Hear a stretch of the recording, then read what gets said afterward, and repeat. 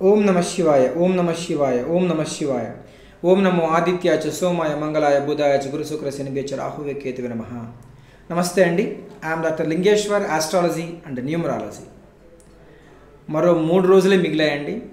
మూడు రోజుల్లో నేను చెప్పేటువంటి ఆరు రాసుల వాళ్ళకి అద్భుతమైనటువంటి జీవితం పొందబోతున్నారు. వీళ్ళకి ఉండవలసినటువంటి అర్హతని వీళ్ళు ఖచ్చితంగా చేరుకోబోతున్నారని చెప్పాలి. అంటే ప్రతి మనిషికి కూడా వీళ్ళకొక ఒక ఒక లక్ష్యము ఒక దశ ఒక దిశ ఒక ఒక నిర్ణయం ఖచ్చితంగా ఉంటుంది. నాకు ఇలా ఇలా ఉంటే బాగుండు. నా ఫ్యూచర్ ఇలా ఉంటే బాగుండు. నేను నాకు ఈ పని అయిపోతే బాగుంటుంది. నాకు వర్కౌట్ అవుతుందా? ఈ సంవత్సరం ఈ సంక్రాంతి తర్వాత నాకు కలిసి వస్తుందా? అనుకునే ఈ ఆరు రాసుల వాళ్ళకి టూ హండ్రెడ్ పర్సెంట్ జరిగి తీరుతుంది. వెయ్యి శక్తుల వెయ్యి శక్తుల అదృష్టంతో మీరు ముందుకెళ్ళిపోవచ్చు. ఎందుకంటే మనకు ఇక్కడ గ్రహాల యొక్క గోచారంలో శని మార్పు కావచ్చు లేకపోతే గురువు యొక్క దృష్టి కావచ్చు లేకపోతే రవి బుధుల యొక్క కలయిక కావచ్చు బుధాదిత్య యోగం కావచ్చు గజకేసరి యోగం కావచ్చు ఇవన్నీ ఈ ఆరు రాశుల మీద ఎక్కువగా ప్రభావితం చూపించబోతున్నాయి. తద్వారా వీళ్ళు ఒక మంచి యోగాను చూడడం ద్వారా నక్క తోక తొక్కుతారని చెప్తున్నా. Two hundred percent no doubt అండి. కానీ మనకు చాలామందికి కొన్ని విషయాల్లో అవగాహన లేదు. ఎలా అంటే ఇప్పుడు మీరు తులారాశిలో పుట్టారు. తులారాశిలో పుట్టిన వ్యక్తికి ఎప్పుడు కూడా జన్మ జాతకంలో లగ్నం నుంచి పదకొండవ స్థానంలో దశ జరుగుతుంది అనుకోండి నేను చెప్పినటువంటి ఈ పాయింట్స్ ఏవి కూడా మీకు సెట్ కావు. మీకు జరగదు. నేను చెప్పే ఆరు రాశుల తులారాశి కూడా ఉంది కానీ మీకు అది వర్కౌట్ కాదు. ఎందుకంటే మనకు ప్రతి కేవలం ప్రతిదీ ఒక గోచారం మాత్రమే జీవితాన్ని శాసించదండి. దాంతోపాటుగా చలినీళ్ళకి వేడి నీళ్ళు తోడైనట్టు గోచారానికి జీవితం జాతక చక్రం తోడవుతుంది. అప్పుడు పూర్తి ఫలితం ఉంటుంది. పదకొండవ స్థానాన్ని అందరూ కూడా లాభస్థానం అంటారు. మనకు పన్నెండు భావాలు ఉంటాయి జాతకంలో. పన్నెండు భావాలు అంటే పన్నెండు హౌసులు అని చెప్తాం. అందులో పన్నెండు హౌసుల్లో మొదటిది ఏంటి? శరీర భాగం. పొట్టిగాన పొడుగ్గాన సన్నగాన లావుగాన ఎలా ఉంటాడో ఏ విధంగా పుడతాడని దాని యొక్క లెక్క. రెండో భావం ఏంటి? లాభం. మూడో భావం ఏంటి? అంటే లాభం అంటే రెండవ లా ఆ లాభం కాదండి ధనస్థానం అంటారు రెండో దాన్ని. డబ్బు స్థానం అని చెప్తారు. డబ్బు ఉన్నవాడి కుటుంబంలో పుడతావా? డబ్బు లేనివాడి యొక్క కుటుంబంలో పుడతావా అని దాని అర్థం. మూడవది అన్నదమ్ముళ్ళు అక్క చెల్లెళ్ళు అసలు అన్నదమ్ముళ్ళు ఏంటి? నాలుగవది తల్లి తల్లి ఆస్తులు ఎలా ఉంటాయి? ఐదవ ఇల్లు నీ సంతానం ఏంటి? ఆరవది రోగం రుణం శత్రుత్వం. ఏడవది భార్యాస్థానం భర్త స్థానం. ఎనిమిదవది అత్తమామల స్థానం అష్టమ స్థానం మృత్యుస్థానం ప్రమాద స్థానం అనారోగ్య స్థానం తొమ్మిదవది భాగ్యస్థానం. నువ్వు చేసే పని నీ వృత్తి.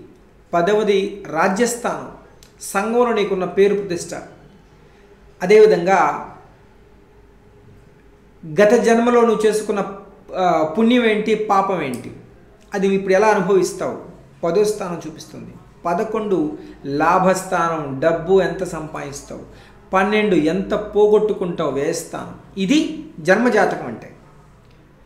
మరి ఇందులో పదకొండు లాభస్థానం కదా బ్రహ్మాండంగా ఉండాలి కదా అంటే మీరు గమనించండి ప్రాక్టికల్గా వెళ్తే లాభం కాదు నష్టపోయి ఉంటారు. తెలివిని సంపాదించి ఉంటారు. తెలివితేటలతో బ్రహ్మాండంగా ఉంటుంది కానీ ఫలితం మాత్రం నష్టం ఉంటుంది. నష్టం ఎందుకంటే ధనం. డబ్బులు పోగొట్టుకోవడం డబ్బులు ఇస్తే తిరిగి రాకుండా పోవడం.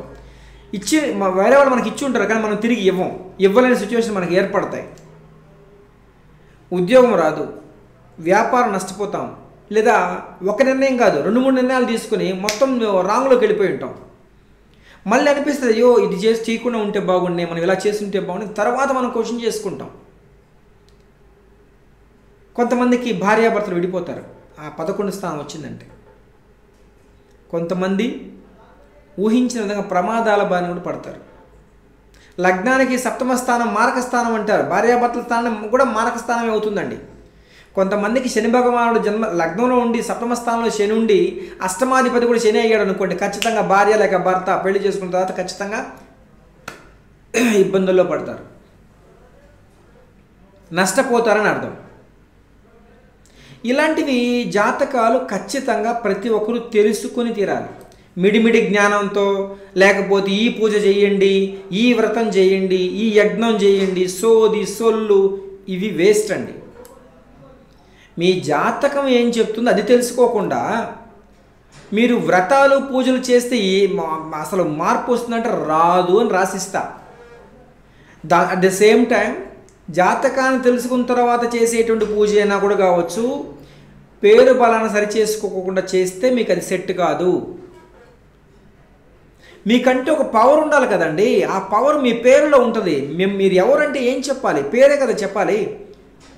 మీరు కానీ నేను కానీ సీఎం కానీ ప్రైమ్ మినిస్టర్ కానీ చివరికి భగవంతుడు కూడా పేరుతోనే పరిచయం కావాలి. ఇట్స్ కాల్డ్ యాజ్ న్యూమరాలజీ న్యూమరాలజీలో నుంచి ప్రొనాలజీ గ్రాఫాలజీ సిగ్నేచరాలజీ పుడుతుంది. ఇన్ని శాస్త్రాల పక్కన పెట్టేసి నేను పూజ చేసుకుంటానంటే ఆ పూజ నీకు ఎలా వర్తిస్తుందయ్యా?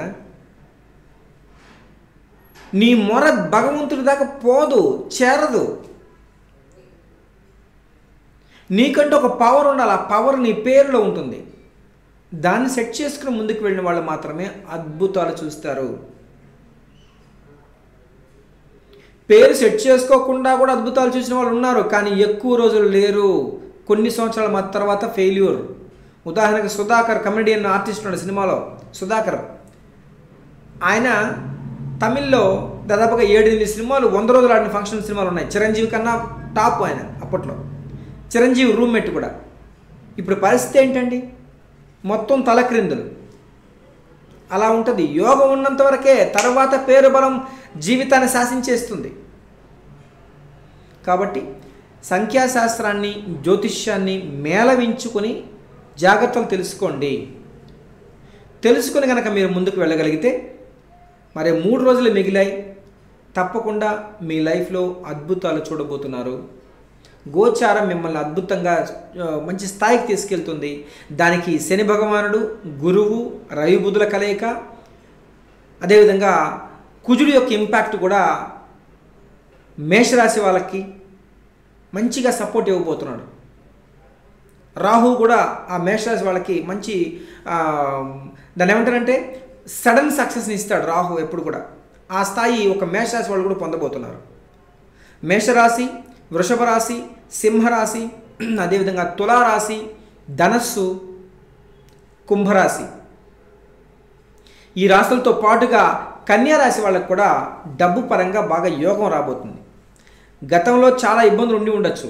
కానీ ఇక మీదట కన్యారాశి వాళ్ళకు కూడా అల్టిమేట్ సక్సెస్లు స్టాండర్డ్ లైఫ్ డబ్బు డబల్ త్రిబుల్గా వచ్చే అవకాశం ఎక్కువగా కన్యారాశి వాళ్ళు కూడా పొందుతారు. కానీ మీ పేరు బలం మీ జాతక బలం కూడా మీరు తెలుసుకుని ముందుకు వెళ్తే చాలు. అది నా యొక్క విన్నపం. అది నా మాటగా మీకు తెలియజేస్తున్నా. ఈ యొక్క వీడియో మీకు నచ్చినట్లయితే లైక్ చేయండి షేర్ చేయండి సబ్స్క్రైబ్ చేయండి. పది మందికి తెలియజేయండి. తద్వారా మీ లైఫ్లో కూడా సక్సెస్ ఖచ్చితంగా ఉంటుంది. So thank you thank you very much